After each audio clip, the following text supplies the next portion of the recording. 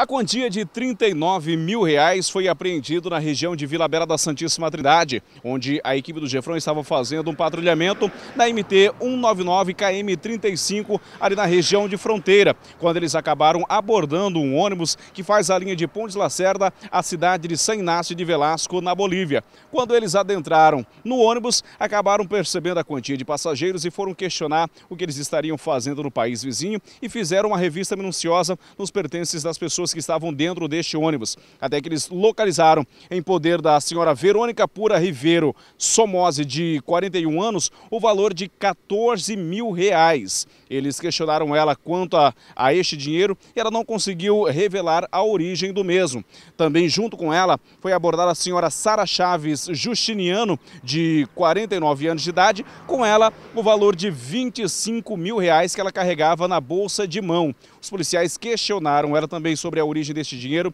ela não conseguiu relatar. O que elas falaram para os policiais que juntas vieram para o Brasil na última sexta-feira e acabaram resolvendo alguns negócios delas aqui no Brasil e quando foi na manhã de segunda-feira, elas estavam retornando para a cidade de São Inácio de Velasco com todo esse dinheiro em espécie que acabou sendo apreendido pela polícia ali na região de fronteira. O caso foi encaminhado agora para as autoridades competentes para que possam ser tomadas as devidas providências.